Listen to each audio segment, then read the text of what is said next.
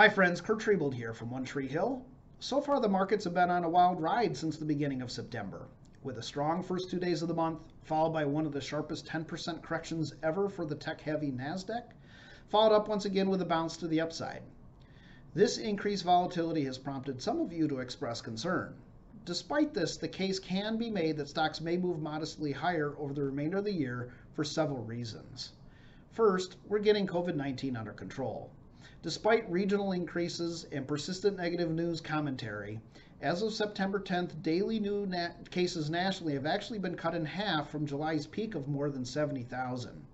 Hospitalizations have also followed the same path, and the daily number of deaths have been cut by a third since the start of August, according to the COVID Tracking Project. Second, economic reopening continues.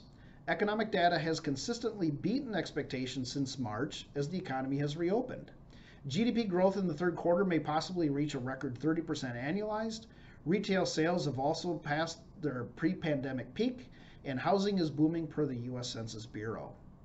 Higher stock prices help support spending via, spending via the wealth effect, and more stimulus help from Congress may still be on the way.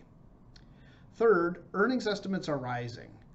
Earnings estimates rose during the second quarter of this year and have continued to climb higher.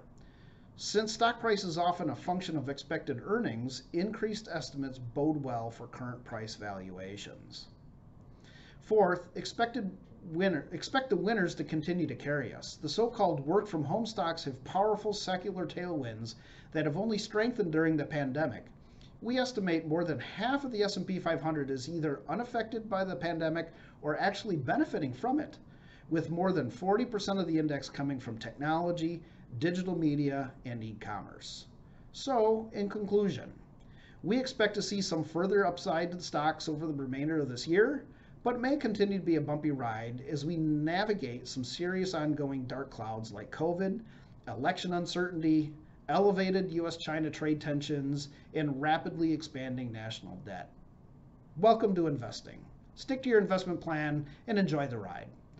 That's it for this week's market update. Stay well, everyone.